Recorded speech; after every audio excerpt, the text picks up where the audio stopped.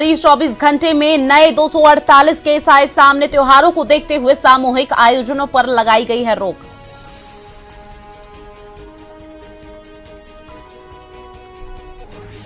नई दिल्ली में चुनाव आयोग की आज अहम बैठक। पाँच राज्यों के विधानसभा चुनाव की तारीखों पर हो सकता है बड़ा फैसला। सुरक्षा बलों की तैनाती पर भी होगी यहाँ चर्चा।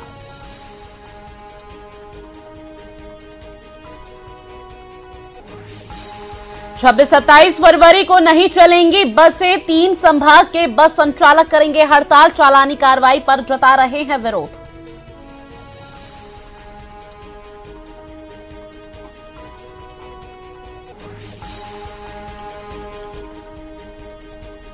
और शिवपुरी में ड्यूटी टाइम में डांस करते नज़र आए नर्स, डॉक्टर अस्पताल में चल रही थी डॉक्टर नर्स की डांस की प्रैक्टिस।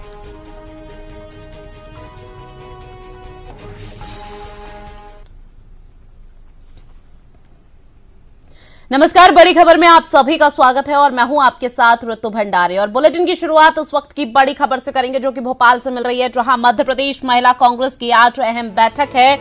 आपको बता दें कि नगर निगम चुनाव और महँगाई को लेकर रणनीति यहाँ बनाई जाएगी। पूर्व सीएम कमलनाथ भी इस बैठक में शामिल होंगे। तो भोपाल से खबर आपको बता रहे हैं, मध्य प्रदेश महिला कांग्रेस की आज अहम बैठक है। तमाम मुद्दों को लेकर यहाँ रणनीति बनेगी, जिसमें जिसमें अहम मुद्दा होगा नगर निगम चुनाव और महँगाई जिस तरह से लगातार बढ़ती जा रही है, पेट्रोल, डीजल के दाम को लेकर भी कांग्रेस पहले ही यहाँ पर धरना प्रदर्शन आंदोलन कर चुकी है और अब एक बार फिर मध्य प्रदेश महिला कांग्रेस की अहम बैठक, जिसमें रणनीति बनेगी कि महँगाई पर किस तरह से सत्ता पक्ष को यहाँ घेरा जा सकता है। पूर्व सीएम कमलनाथ भी इस बैठक में शामिल होंगे। तो भोपाल से खबर आपको बता रहे हैं।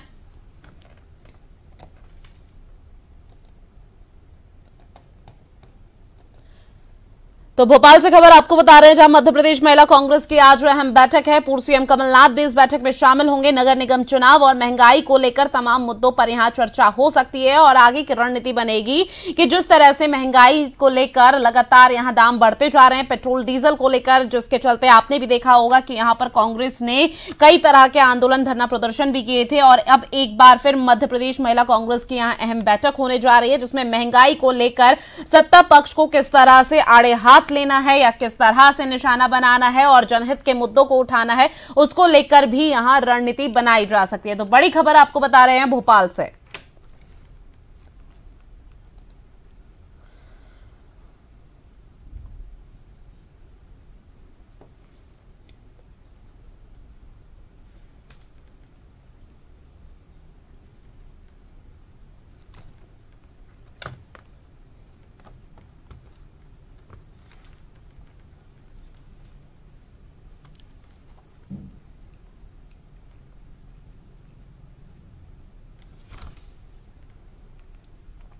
रायपुर से मिल रही एक और बड़ी खबर का रुख करते हैं जहाँ आज अनुपूरक बजट सत्र का आज तीसरा दिन है। आज 505 करोड़ के अनुपूरक बजट पर चर्चा यहाँ सदन में होगी सीएम भूपेश बघेल ने मंगलवार को सदन में बजट पेश किया गया था और विपक्ष एक बार फिर यहाँ काम रोको प्रस्ताव लाया जा ला, ला सकता है। आपको बता दें कि रायपुर में फ़िलहाल छत्तीसगढ़ बजट सत्र जारी है। आज तीसरा दिन है जहाँ तमाम मुद्दों को लेकर कल सदन में हंगामा होने के आसार जिस तरह से जताए जा रहे थे, वही आसार एक बार फिर आज सदन में फिर यहाँ दोहराए जा रहे हैं, जहाँ विपक्ष सत्ता पक्ष को घेरने की रणनीति बना सकता है। आपको बता दें कि आज 505 करोड़ के अनुपूरक बजट पर यहाँ चर्चा होगी। सीएम भूपेश बघेल ने मंगलवार को सदन में बजट पेश किया था, जिसके चलते विपक्ष ने काफ़ी हंगामा किया और विपक्ष को शांत कराने के लिए सत्ता पक्ष ने तमाम तरह के अपने सवालों के जवाब भी दिए थे, जिसके चलते आज विपक्ष फिर लाएगा काम, रोको प्रस्ताव। तो बड़ी खबर आपको रायपुर से बता रहे हैं।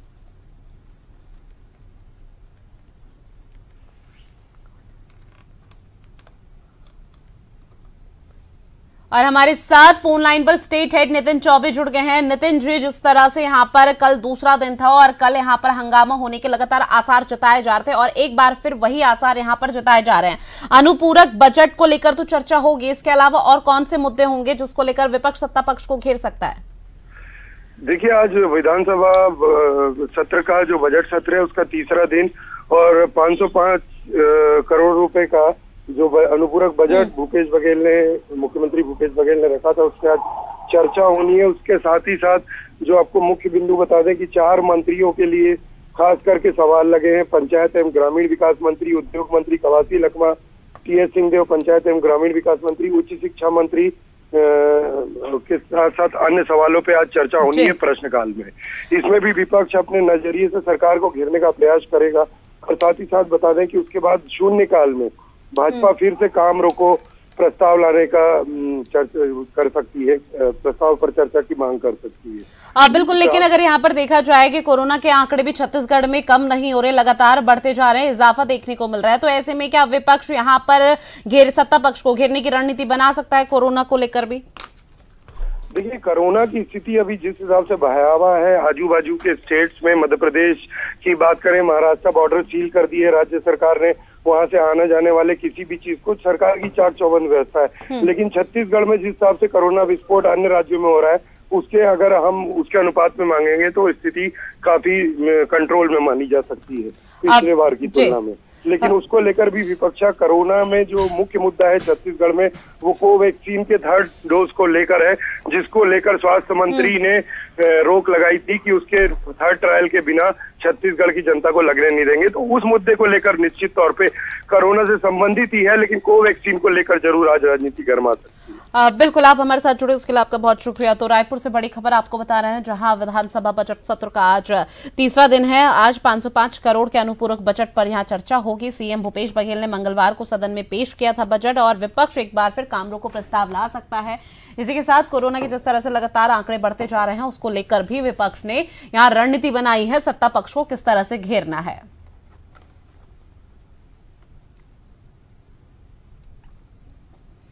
अब रुक करते हैं अगली खबर का, जहाँ बजट सत्र के तीसरे दिन बुधवार यानी 24 फरवरी, आज विधानसभा में कई मामले सदन में उठेंगे। सागर की कड़ान सिंचाई परियोजना के डूब क्षेत्र की ज़मीन का मुआवजा न देने और वहीं चित्रकूट की मंदाकिनी नदी से प्रदूषित पानी छोड़े जाने का मामला सदन में उठेगा।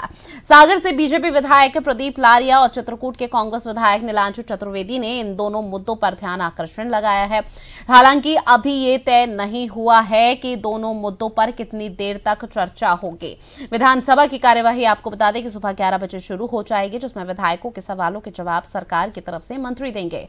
इसके साथ ही पिछले साल बाईस तेईस सितंबर और शीतकालीन सत्र में अट्ठाईस में से तीस दिसंबर को विधानसभा स्थगित कर दी गई थी। इस दौरान विधायकों ने सैकड़ों सवाल सरकार से पूछे थे। इन सभी सवालों के जवाब सरकार आज सदन पटल पर रखेगी। विधानसभा द्वारा जारी कार्यसूची के मुताबिक 24 फरवरी को सुबह ग्यारह से 12 बजे तक प्रश्नकाल होगा। इसके बाद सरकार की तरफ़ से 15 अध्यादेश भी विधानसभा में पेश किए जाएँगे। विधायकों द्वारा लगाए ध्यान आकर्षण प्रस्ताव पर नियम 138 के तहत चर्चा भी की जाएगी।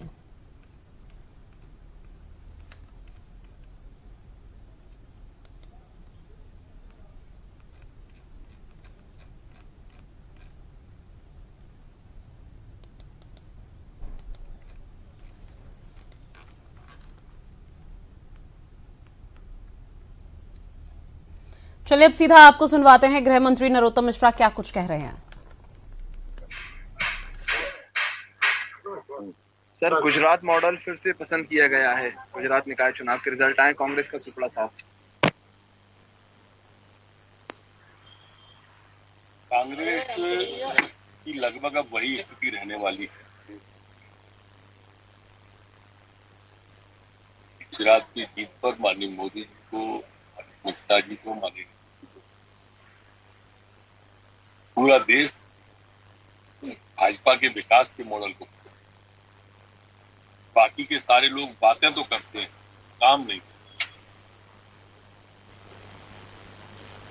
सर अगर बात करें मध्य प्रदेश के अंदर कोविड लगातार बढ़ रहा है विधानसभा में कोविड गाइडलाइन का पालन करने के लेकिन कई जनप्रतिनिधि देखने को मिल है कि वो मास्क नहीं लगा रहे अपने अपने करके दे रहे हैं। कहाँ वाइफ बोले कि मैं मर जाऊँ मास्क लगाऊँ रमा रामबाई की मेरी बहन उनकी नेता बहनी है वो स्वास्थ्य का ध्यान रखें। उनके स्वास्थ्य की चिंता हमारी चिंता जहाँ तक बाकी सदस्यों की बात है सबसे आज आगे करें। राहुल गांधी लगातार बात कर रहे हैं उत्तर भारत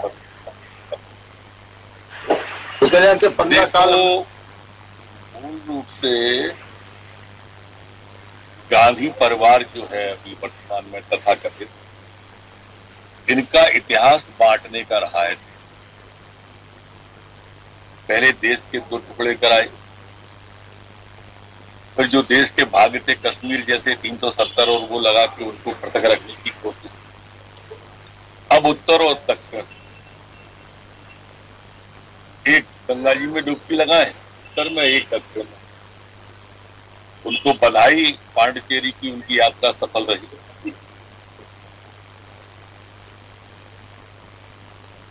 ये विभाजनकारी जो बात है ना, देखो यही सोच है दो पार्टियों का। वो टुकड़े टुकड़े करना चाहते हैं, हम अखंड भारत की कल्पना करते हैं। हमारे प्रधानमंत्री Modi ji, one nation, one education one nation one ration one nation one tax एक देश, एक विधान, एक प्रधान, एक संविधान। ये भारतीय जनता पार्टी का सोच है, हमारे नेता मान और इनका सोच है, उत्तर दक्षिण में और बांट दो। मेरे ख्याल से अच्छा तो लाल किला का जो आरोपी है, लखा, वो अमरिंदर सिंह की गाँव में रैली में दिखा एक लाख का इनाम है। स्वाभाविक रूप से आप जैसे जैसे पर प्याज की पत्र उभाड़ेंगे ऐसे कई चीज़ें निकल के आएँगी। सर आज सर स्वतंत्र अधिनियम ये तो चर्चा कभी भी हो धर्म स्वातंत्र विधेयक आज की आवश्यकता थी ये सिद्ध हुआ है प्रमाणित हुआ है। एक महीने के अंदर 24 घटनाएँ आना। मतलब मतलब मैं तो मानता हूँ हमें ही विलंब हो गया। कितनी हमारी बेटियों का जीवन खराब हुआ होगा। कितने लोग निकल के नहीं आए होंगे जो अभी भी मौन होंगे। ये आवश्यकता है इसको जल्दी करेंगे। सर कोविड का दौर चल रहा है आर्थिक स्थिति मध्य प्रदेश की दिक्कत बता है लगातार सरकार कर्जे भी ले रही है लेकिन इस बीच में साढ़े चार करोड़ से ज़्यादा का खर्चा जो है मंत्रियों के बंगले कोविड पता नहीं रखना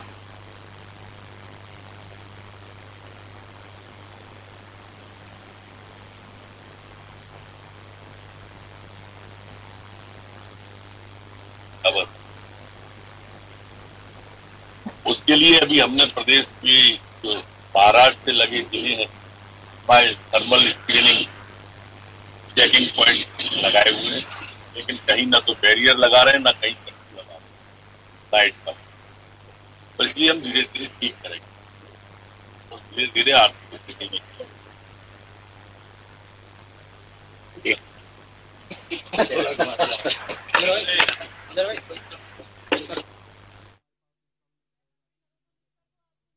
तमाम मुद्दों को लेकर उन्होंने अपनी बात रखी और इसके साथ ही जब उनसे सवाल किया गया कि महँगाई लगातार बढ़ती जा रही है और विपक्ष हमलावर है और सदन में किस तरह से आज घेरेगा, उसको लेकर उन्होंने कहा कि विपक्ष का काम है घेरना और झूठे यहाँ पर भ्रम फैलाना, आमजन को भ्रमित करना।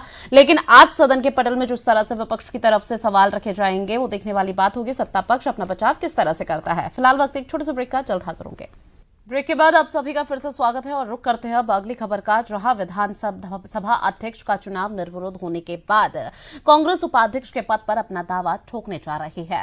हालाँकि इस बारे में पूर्व मुख्यमंत्री और नेता प्रतिपक्ष कमलनाथ पहले ही साफ़ कर चुके हैं कि परंपरा के हिसाब से तो उपाध्यक्ष का पद विपक्ष के लिए मिलना चाहिए। उपाध्यक्ष पद के लिए चुनाव की स्थिति बनने पर कांग्रेस ने उम्मीदवार उतारने की तैयारी भी कर ली है।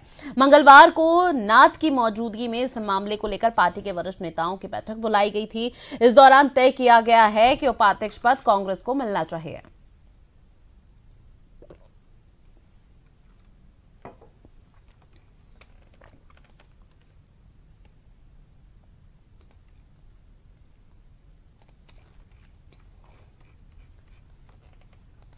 तो हमारे साथ न्यूज़ रूम से live associate editor Geet Dixit ji जुड़ गए हैं। गीत जी जिस तरह से अध्यक्ष उपाध्यक्ष के पद को लेकर यहाँ पर कई तरह के अटकलें लगाई जा रहे थे। अध्यक्ष तो चुन लिया गया गिरीश गौतम को, लेकिन उपाध्यक्ष पे अभी भी कांग्रेस की नज़र बनी हुई है। लेकिन यहाँ पर बीजेपी का कोई रुख ऐसा निकलकर सामने नहीं आ रहा कि उपाध्यक्ष का पद वहाँ दिया जाए। किस तरह से इसको समझा जाए आगे जाकर?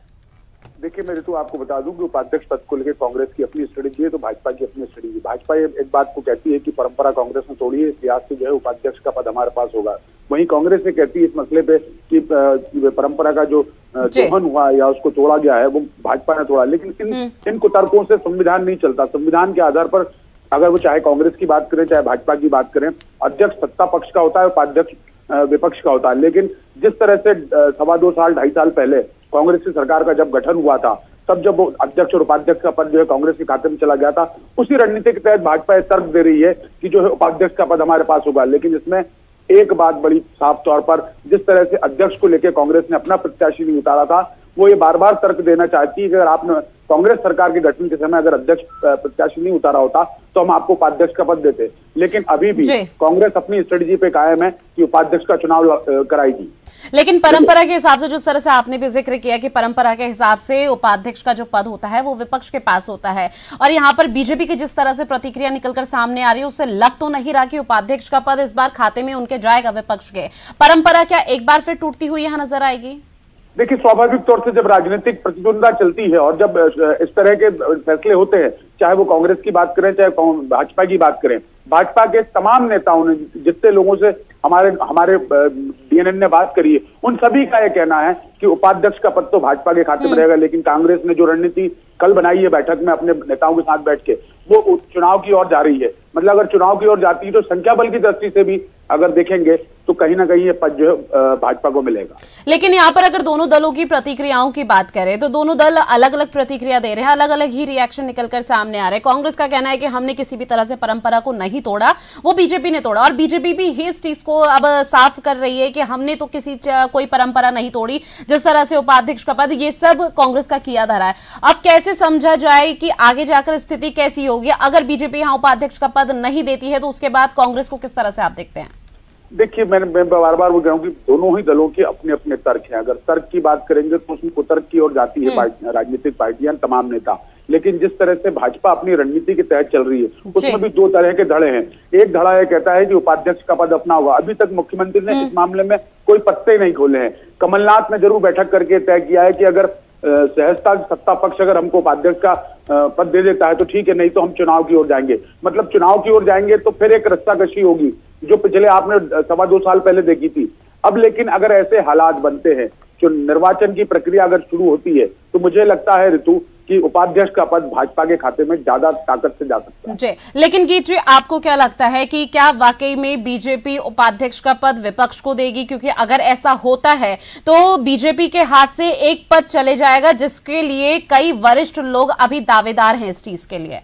देखिए राजनीतिक पंडितों की अगर बात करेंगे ऋतु सबसे बड़ी बात है कि इस समय पावर की लड़ाई है। पावर की लड़ाई को समझना बहुत ज़्यादा ज़रूरी है क्योंकि क- भाजपा ये दिखाना चाहेगी कि हम सत्ता में मज़बूत स्थिति में। है इसलिए उपाध्यक्ष का पद हमारे पास रहेगा। लेकिन अगर कांग्रेस को अपनी मौजूदगी दर्शाना पड़ेगी तो उसको इसमें तोड़ फोड़ की संभावनाएँ तलाशनी पड़ेंगी। वो कैसे उपाध्यक्ष का पद लेगा? या तो हो सकता है कि दोनों सदन के नेताओं चाहे मैं कमलनाथ की बात करूँ चाहे मुख्यमंत्री शिवराज सिंह चौहान की बात करूँ इन तमाम नेताओं को अगर एक साथ बैठ के राय कर ली जाए कोई सहमति का रास्ता निकलता तो लेकिन अभी वो दूर की कौड़ी है अभी उसका कोई संभावना नहीं दिख रही ऋतु एक रिएक्शन और चाहेंगे सर आपसे कि जिस तरह से यहाँ पर बीजेपी के ने उपाध्यक्ष पद के लिए या नामों की जो फेरिस्त है वो तो यहाँ पर है सबको मालूम है।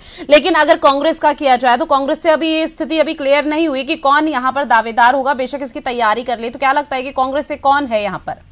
देखिए कांग्रेस के पास दावेदारों की सूची लंबी है हम आपको बता दें कि अगर जो अगर कांग्रेस की तरफ़ से कोई आएगा तो। बाला बच्चन है सज्जन सिंह वर्मा है ऐसे तमाम नेता है जो लाइन में लगे हुए हैं। लेकिन सबसे बड़ी बात है कि कांग्रेस इस स्ट्र- इस स्ट्रेटजी पे काम कर रही है कि वो पहले उपाध्यक्ष के चुनाव करा पाएगी या नहीं करा पाएगी। अभी तो उनके ही एक बैठक में तय नहीं हो पा रहा ये ज़रूर है कि वो मंशा अपनी व्यक्त कर, कर चुके हैं कि चुनाव की प्रक्रिया निर्वाचन में जाना पड़ेगा लेकिन भाजपा क्या इसके लिए तैयार होगी? भाजपा इसके लिए अगर तैयार होगी तो ही निर्वाचन की प्रक्रिया होगी। नहीं तो मुझे लगता है कि आसानी से उपाध्यक्ष पद जो भाजपा के पास चला जाएगा। बिल्कुल, सवाल कई है और इसमें देखने वाली बात यही होगी, क्या एक बार फिर यहाँ परंपरा टूटती है या नहीं? फ़िलहाल आप हमारे साथ जुड़े, उसके लिए आपका बहुत शुक्रिया। तो विधानसभा अध्यक्ष का चुनाव निर्विरोध होने के बाद कांग्रेस उपाध्यक्ष के पद पर अपना दावा ठोकने जा रही है। हालाँकि इस बारे में पूर्व मुख्यमंत्री और नेता प्रतिपक्ष कमलनाथ पहले ही साफ़ कर चुके हैं कि परंपरा के हिसाब से तो उपाध्यक्ष का पद विपक्ष के लिए मिलना चाहिए, लेकिन कई तरह के यहाँ रिएक्शन निकल कर सामने आ रहे हैं।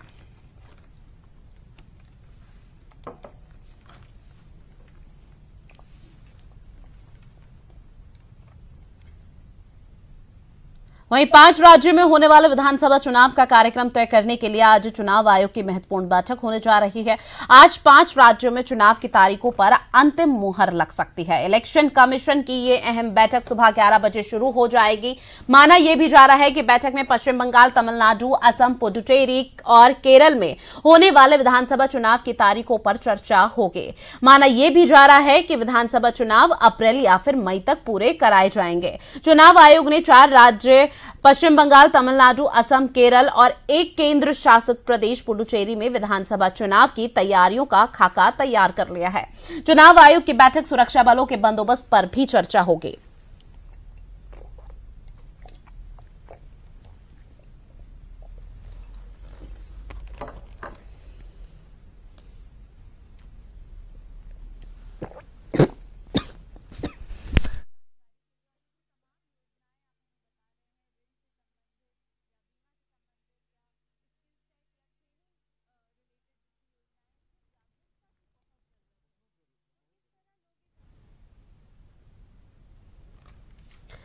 चलिए अब सीधा रुक करते हैं शिवपुरी का। आज वहाँ शिवपुरी से एक बड़ी खबर मिल रही है कि ड्यूटी टाइम में डांस करते हुए नज़र आए हैं नर्स डॉक्टर। अस्पताल में चल रही थी डॉक्टर की नर्स, डॉक्टर नर्स की डांस की प्रैक्टिस। वीडियो जमकर वायरल वायरल भी हुआ है।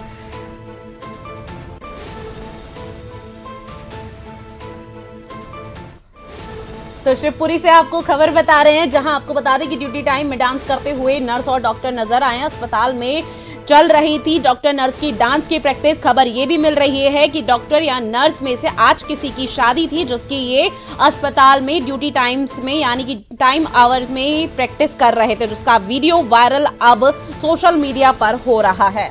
तो शिवपुरी से खबर आपको बता रहे ड्यूटी टाइम में डांस करते हुए नज़र आए नर्स। डॉक्टर अस्पताल में चल रही थी उनकी डांस की प्रैक्टिस। शादी समारोह में भी शिरकत करनी थी, जिसके चलते इस तरह से ये डांस की प्रैक्टिस की जा रही थी, जिसका वीडियो जमकर वायरल हो रहा है। और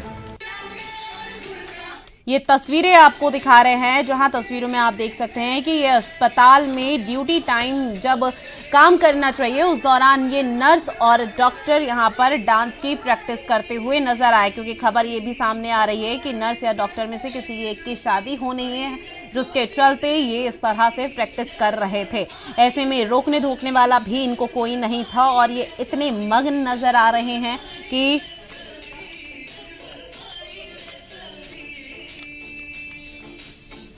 और फ़ोन लाइन पर हमारे साथ शिवपुरी संवाददाता आशीष पांडे जुड़ गए हैं। आशीष, ड्यूटी टाइम में डांस करते हुए ये वीडियो वायरल हुआ जहाँ नर्स, डॉक्टर डांस कर रहे हैं। ऐसे में क्या किसी बड़े अधिकारी ने अभी तक किसी भी तरह का कोई एक्शन लिया है? जी, बिल्कुल मैं आपको बता दूँ, ऋतु जी, ये पहला मामला नहीं है स्वास्थ्य विभाग का।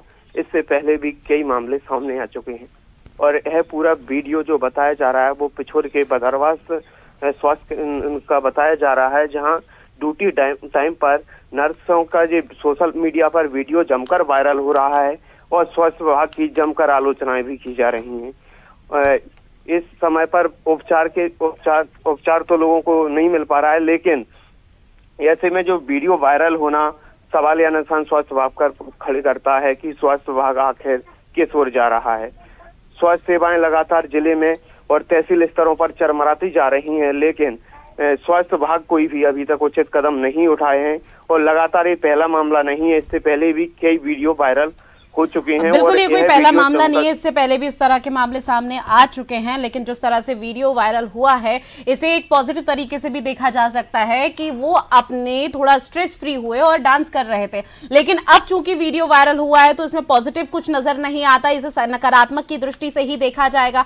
अभी तक किसी भी तरह की सफ़ाई यहाँ निकल कर सामने आई। बिल्कुल ऋतु जी मैं आपको बता दूँ कि जब स्वास्थ्य विभाग के अधिकारियों से बात की जाती है तो वह सिर्फ़ यही बोलते हैं कि आपके द्वारा मामला संज्ञान में लाया है और कार्रवाई की जाएगी हमारे द्वारा जाँच कराई जाएगी।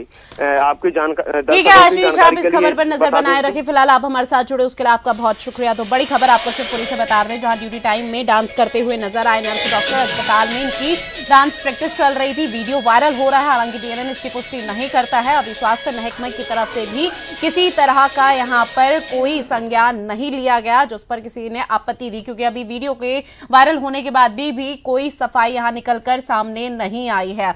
और ये तस्वीरें भी आपको दिखा रहे थे शिवपुरी की, जहाँ डांस करते हुए नर्स और डॉक्टर नज़र आए हैं। फ़िलहाल बड़ी खबर, हमारी खास पेशकश बुलेटिन में इतना ही। आप बने रहिए जेएनएन के साथ। नमस्कार।